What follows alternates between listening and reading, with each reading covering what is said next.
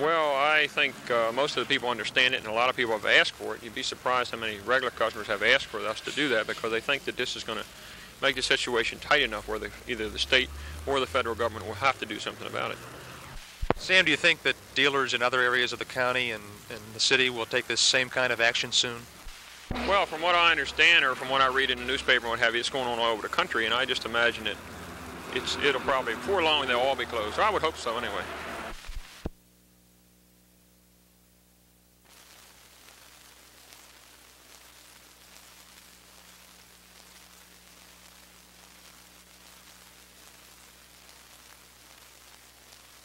Well, primarily because of my lease. The, uh, the clause in my lease says I have to be open, with very few exceptions, seven days a week. And uh, as it stands right now, it's 12 hours a day. So even though the other guys are shut down, you couldn't shut down if you want, wanted to? I could, but I, then I'd place my family and my uh, income in jeopardy, and I'm not in a position to do that. I sympathize with the other guys, but there's really nothing I can do.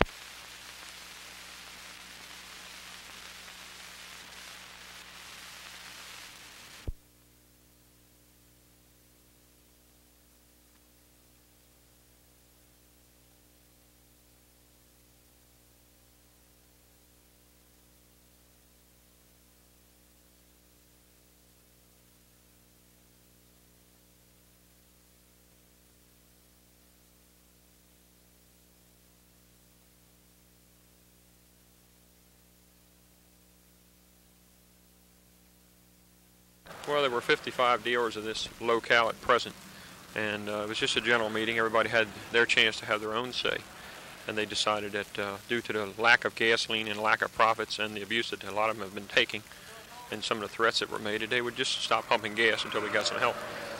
And they all generally seem to say they would continue to do this for as long as it took to get the relief they want? Yes, sir. It was a 100% vote. I'm not really bearing the brunt. It's the customers that are bearing it. I mean, we're, we're this way every day, so it's, it's no hardship on me. But it is working hard.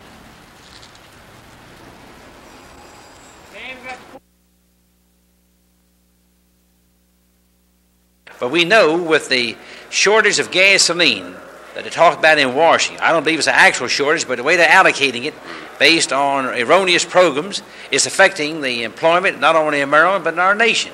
And that affects tourism, traveling, uh, resorts, and it's going to have some effect.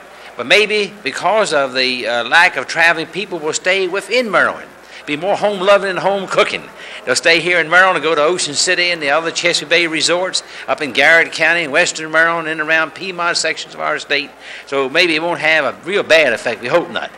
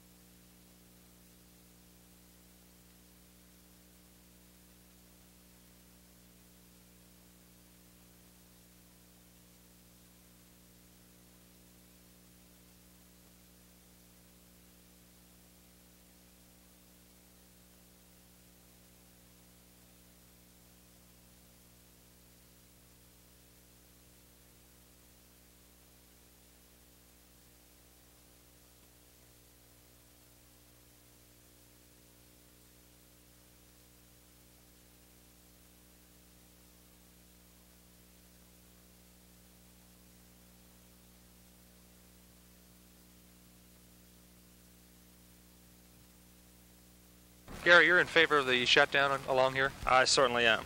Uh, A lot of us have been threatened. Our phones don't stop ringing. Uh, we don't have time to breathe. We're working three times as hard. We're not making any more money.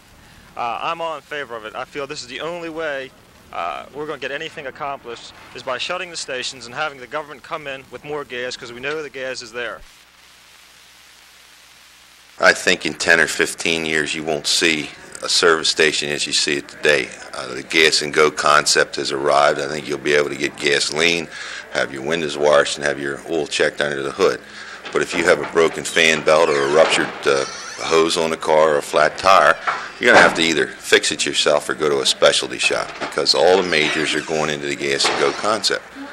When any industry is given a license to establish a monopoly extending from the wellhead where the oil is first drawn to the tankers which transport it across the ocean to the refineries which, which process it through the pipelines which deliver it across the country, through the tank trucks, through the service stations which retail it to a captive market, then we have handed over full control of our nation's jugular vein to a clique of oil moguls who make policy decisions based not on patriotism or the national interest, but by their relentless search for profit and more profit.